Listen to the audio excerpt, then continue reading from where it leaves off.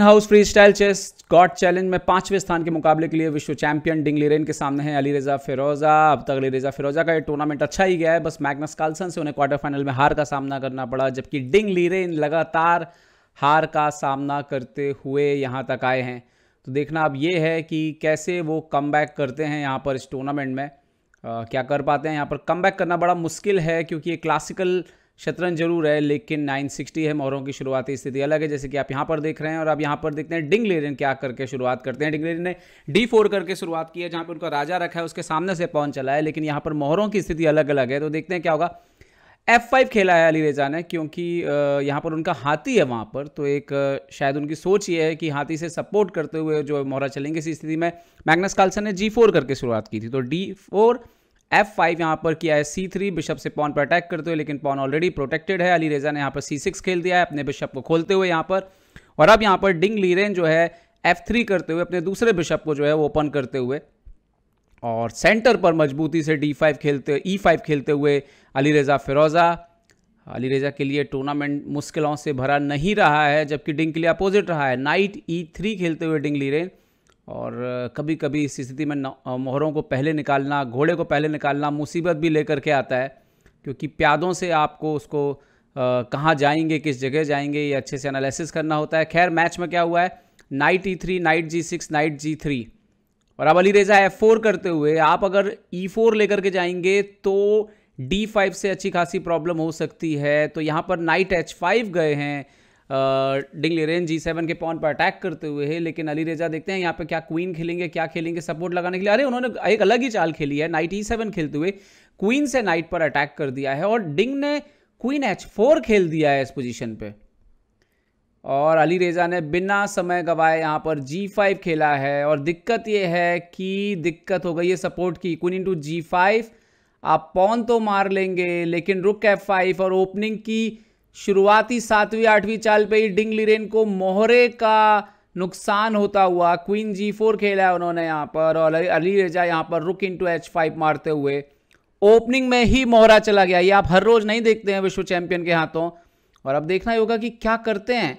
खैर, यहाँ पर डी इंटू ई फाइव मारते हुए और पॉन तो मार लिया है, लेकिन वो थोड़ी देर में रिकवर भी हो जाएगा। फ़िलहाल एफ़ फोर के पॉन पे भी अटैक है। बिशप यहाँ पर खेलते हुए सी फोर पर आ, और बिश ओके यहाँ पर क्वीन से मारा जा सकता था लेकिन शायद यहाँ पर थोड़ा अलग खेला है डिंग लीरेन ने। यहाँ पे नाइट एफ़ फोर मारा है उन्होंने पॉन और रुक इंटू ई फाइव मार लिया यहाँ पर अली रज़ा फिरोज़ा ने।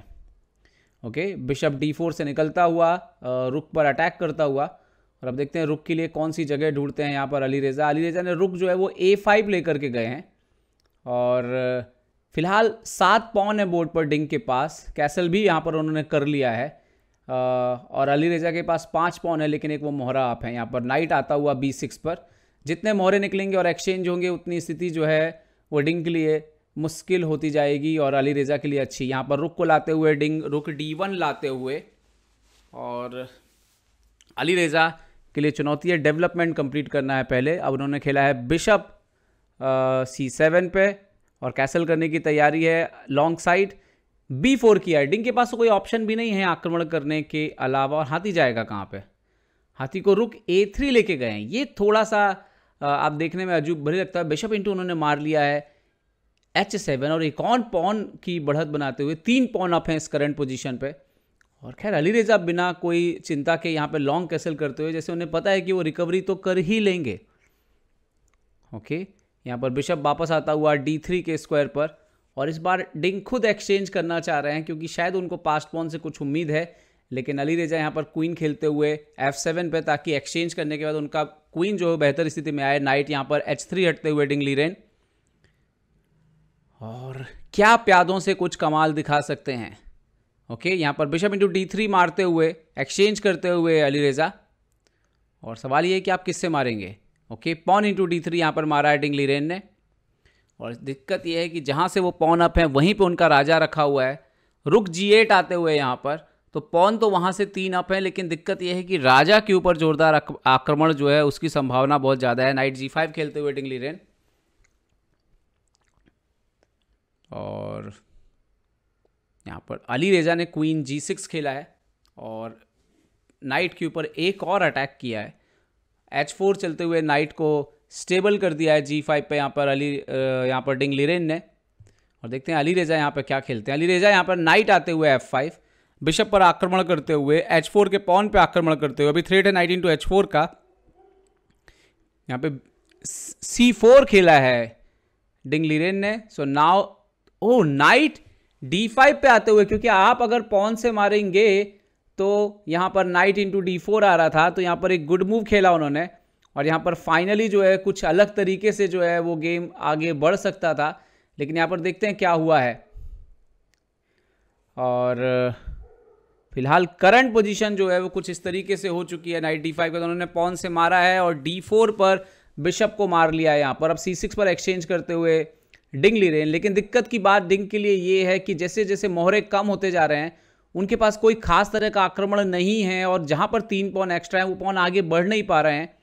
तो देखना होगा क्या होगा। क्वीन ई फोर पर रखा है एक्सचेंज करने के लिए और यहाँ पर देखना होगा कि अली रेजा क्या करते हैं। अली रेजा ने एक्सचेंज करने से तो फ़िलहाल मना कर दिया है और क्वीन को डी सिक्स ले जाकर के एच टू ले जाने की तैयारी है।